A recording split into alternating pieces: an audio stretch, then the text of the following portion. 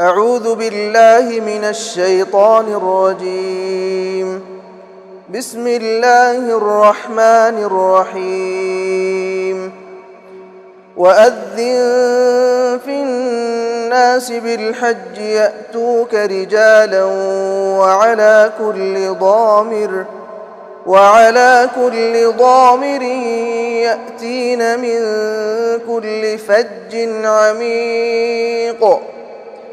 ليشهدوا منافع لهم ويذكروا اسم الله في أيام معلومات على ما رزقهم على ما رزقهم من بهيمة الأنعام. فكلوا منها وأطعموا البائس الفقير. ثم ليقضوا تفثهم وليوفوا نذورهم وليطوفوا بالبيت العتيق.